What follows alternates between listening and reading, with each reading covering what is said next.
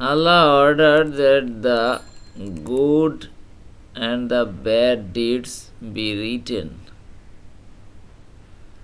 And he then showed how.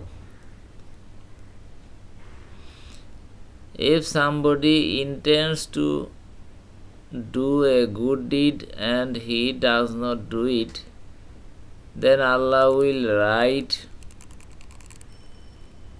for him a full good deed.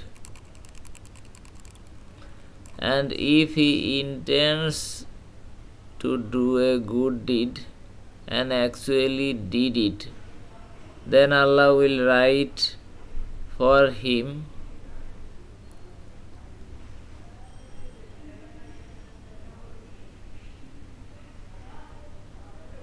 with him from 10 to 700 times to many more times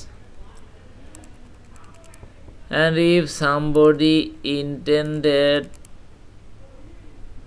intended to do a bad deed and he does not do it then allah will write a full good deed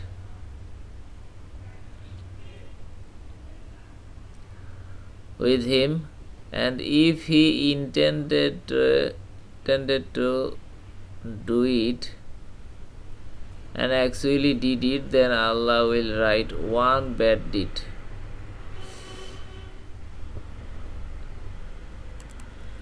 Al Hadith Bukhari Sharif book number 8 Hadith number 498